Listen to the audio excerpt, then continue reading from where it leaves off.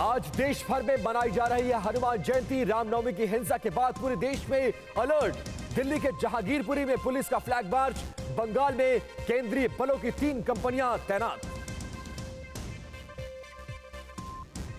आज बीजेपी का चौवालीसवां स्थापना दिवस सुबह पौने दस बजे। प्रधानमंत्री मोदी पार्टी कार्यकर्ताओं को करेंगे संबोधित।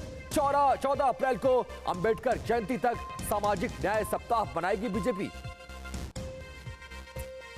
राहुल गांधी की सजा के खिलाफ सत्र के आखिरी दिन विपक्ष का हल्ला बोल, संसद से विजय चौक तक। तिरंगे के साथ करेंगे मार्च। ज्वाइंट प्रेस कॉन्फ्रेंस में सरकार पर बोलेंगे हमला। मनीष सिसोदिया की जमानत पर आज हाईकोर्ट में सुनवाई। कल राउल रेवेन्यू कोर्ट ने 17 अप्रैल तक बढ़ाई थी न्यायिक हिरासत। कोरोना की रफ्तार हुई बेकाबू। पिछले 24 घंटे में 4,435 नए केस आए सामने। 11 लोगों की मौत। दिल्ली में 500 से ज़्यादा मामले आए सामने। 25 फ़ीसदी से ज़्यादा पॉजिटिविटी रेट।